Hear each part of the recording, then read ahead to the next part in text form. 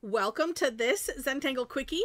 My name is Heather Hartwick Gladden. I'm a certified Zentangle teacher, and today we're going to take a look at the tangle Florabella from CZT Nancy Domnauer. Oh my goodness, this is so much fun. um, so today the timing of this recording it's thursday which means it's tangle time day. And oh my gosh did we ever have so much fun with this on our our sessions. I'll, I'll show you the results afterwards. Oh my goodness. All right. So totally fun tangle. All right.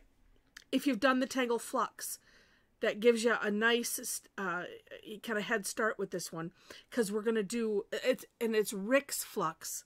Uh, that's the shape we're going to do and if you've not, it's okay. All right, we're going to start. Oh, let's see. You know what? I, I did find it a lot nicer. Let's do four corners and a border. All right. I just needed some place to start. And that helps. All right. And if you don't know about the four the corner dots and border, take as take do yourself a, a Zentangle favor and uh, find a CZT. I do teach these classes as well. Um, that teaches some sort of a, a, class where they go over the eight steps that are Zentangle. I call mine Zentangle Essentials. I do them every time there's a fifth Tuesday. I think the next one is April 30th. Uh, mine are, are $15. Uh, you can follow me. Uh, links are in the description, uh, you know, to follow me to find classes. Um, but that will explain oh, what is that? I don't understand. We explain all of that and more. All right, so this one starts off with okay, here is the what, we, what I always call the flux shape, or you could call it a tethered orb, or a teardrop, or you know whatever uh, fits for you. And let me, I'm going to aim it towards the center, so we kind of come out and then back in. So like tethered here, or a speech bubble. whatever works. Okay, so one, then we're going to aura it, and that's basically an outline, so we kind of follow the contour. Uh, but I like, Nancy called this uh, uh, tethered aura. So we're going to tether it right here at this point where we started. And going on the inside, and then you decide the distance you want to keep from the outside shape, up to you. And I am also going to dare say if you ended up drawing it small and you're like, oh, but I don't want to go on the inside, you could go on the outside. Because see, if I if I if I could have drawn that line on the outside as well, so that's a kind of a course corrector for you. All right, next we're gonna do a lot of auraing and then a lot of hollibaughing. Hollibaugh is how to draw behind something. So if you watch, you'll see I'm not gonna we're not crossing any lines so I'm going to do another one. And I'm picking up my pen here, traveling it across as if I'm drawing. And then just continuing on its way. It's a good practice to do this in one thought process versus, oh, I'll do this and then, oh, then maybe I'll come around this way. I mean, you can, but it just, it seems to have a nice flow. And then it does, it gives you more of a chance of it looking like somehow it was drawn behind. Oh, you erased something, you know. No, we didn't. and then, same thing, we're going to aura. And then here, you, you kind of have to imagine, okay, well, where would that come out if I was tethering it right here? Or it would be about here. And so because of all of the, the auraing and probably, well, the combination of the auraing and the hollibaughing, it takes a little bit more concentration maybe than most tangles but with that you can easily just lose yourself in the tangle and um you know and just be absorbed by it. And that's kind of the point of zentangle. Let's see i'm going to do another one here. And then this you just put them wherever you want. It's completely up to you but it's just nice to have tangles like this where you you can just lose yourself in them and you just keep going. You're like well where do i want to go next? I don't know. Well maybe i'll start another one here. Okay i will. Yeah and you might find yourself talking to yourself like that. If you it, you're not crazy. I need to make t-shirts that says i'm i'm not crazy. I'm just doing zentangle you know and then however you want to overlap them is up to you. And this is where I usually run into the decision problems because uh, it's like, well, I don't know. I do feel like I want to do another one in here just because. All right, so if I was doing one in here, we'll start it here. And then, oh, look at, I'm going to go underneath my border. And it would end up there. You don't have to because the string line is just a suggestion, but I find it fun. but then I'm kind of weird too. all right. Oh, just because. Oh, let's see. Which way do I? I'm to do one. Let's do one coming from up here. Come in the other direction. Oh, yeah. Let's do this. Oh, let's see. Oh, a little bit there. That one's going to go way behind. I think, yeah. Well, it is, obviously.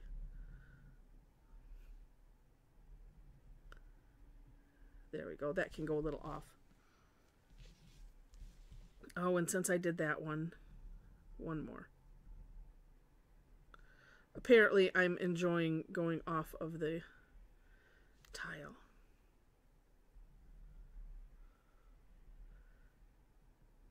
There we go.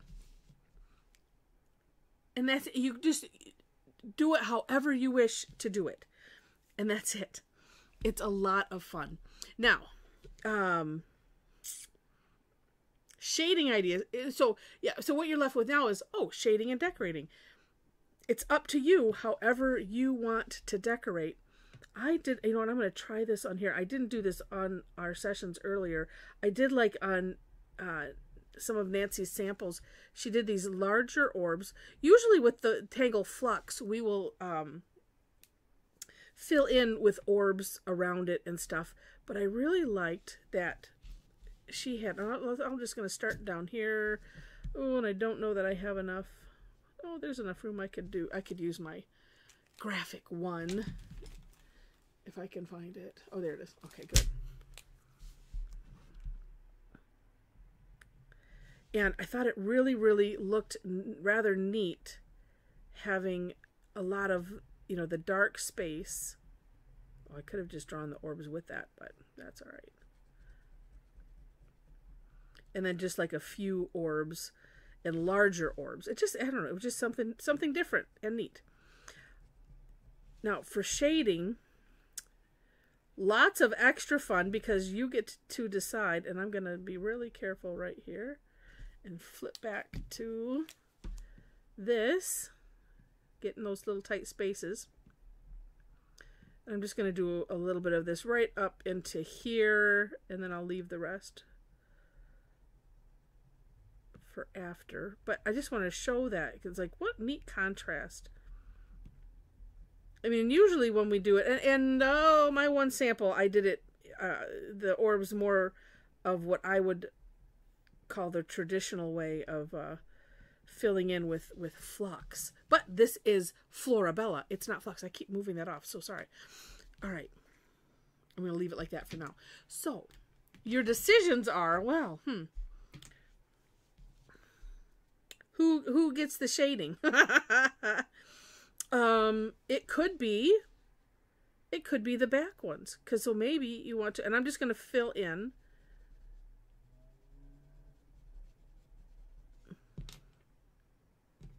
We'll do the back ones on these ones.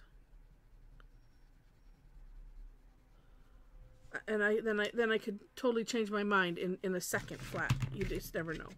Wrong color tortillon. Uh, there we go.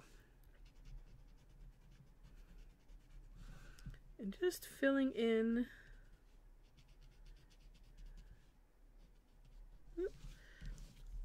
My plan was to leave those. Oh no, I have another idea though with those. But then also, and this was fun, just you know because you can you can decorate the insides, you can decorate the outsides. I kind of liked it was one thing that uh, actually mom started this and what on one of her tiles, and I thought it was a really neat idea. And all of the other ideas that we had on our sessions, just to do some perfing on the inside, like that. Maybe I'll do all of them. I didn't do all of them on my other, but let's do that. At least on this one. Because see, the thing too, and this is this is what I'm contemplating as I'm doing these, is hmm, I could come back, and if I filled all of them in, so if I even if I filled this section in, it's still going to look neat, and it gives a, a you know a real transparent look, and I think I shall do that. And since I started with this size, I would recommend if I was to do this again, but I want to be consistent, so I'm sticking with it. Get a larger pen, pen nib, like the graphic one that I was using. And you can just go and just push, push the pen onto the paper. This, if I do that, I get just that little dot.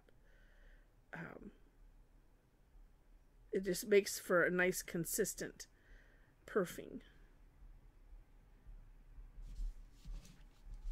All right, but then sometimes consistency is overrated. Just kidding, just kidding.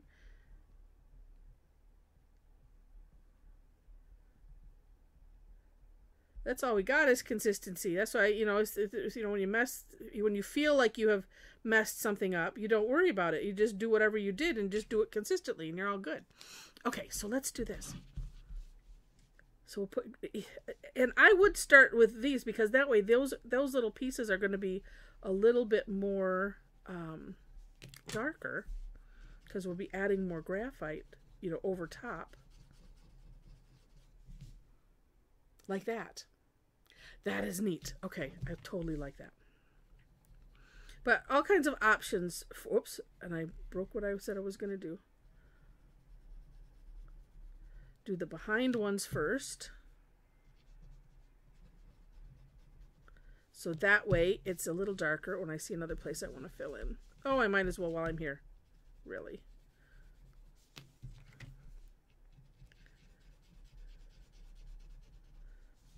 You know, and just, like I said, lots of fun to be had with this. And it's an it's one of those that is, is impressive looking, but it's not necessarily so hard to do.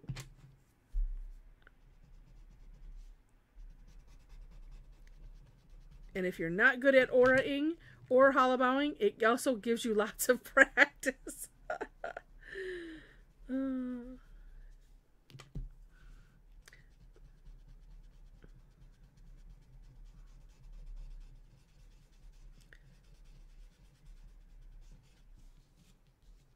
Oh, and if I fill that in, I think I'll put some more orbs out there and fill that in. And then I also saw this one little place I mean, because I like to do this wiggly border, and so I will keep that border there. There we go. All right, let's, well, I'll do orbs with the big pen. That'll be good. so neat. All right. Well, if you have enjoyed this, and I hope you have, uh, would love it if you click on the like button and as you're clicking, if you if you've not yet subscribed and like it enough to see more, we'd love to have. I'm just going to put another one right here. Um, would love to have you be a subscriber to the channel. In just a second, I will show you some of our results. But in the description section, you will find links to the step outs. Now, I always do my own version and then link to the creator of the Tangle. Um, and then below that, you'll find my link tree, which is you'll find ways to connect with me if you wish. Just like that. Okay, super cool. Oh, but we can't leave those orbs just be like that. Let's see, which way do I want? I like it that way. So one way to kind of dress up orbs just put a little little C shape of graphite in there. And you know what? You don't have to spread it out, but you can. And sometimes I will uh, make the C more into like as if I was aura auraing, you know, inside. Or you can just bring it out to the to one side like that. Just adds a little dimension to them. All right. And then, of course, if you have like a white gel pen, you can add, you know, other, you know, highlights, accents, and stuff like that. So, um, mm, just super super neat tangle. Super cool. All right. And as i distract myself wait one second I, and i see something else that i need to only because this is where i put my little string lines so i want to okay and you know what i really should?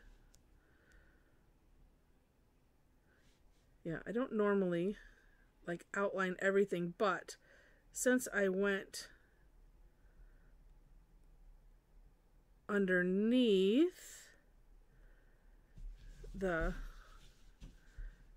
the, the border I should do this. Only because of that. All right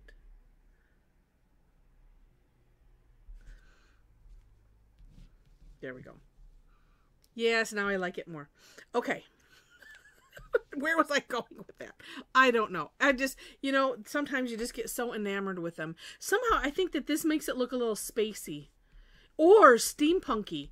You know, if I had made maybe those orbs, if you're into steam, I don't know. I'm not really into steampunk, but something about it is a little is intriguing, and maybe it's just the oh hey, you know, you could do that with this. I don't know. There's something about it that's just kind of neat, and that could that could totally fit in there.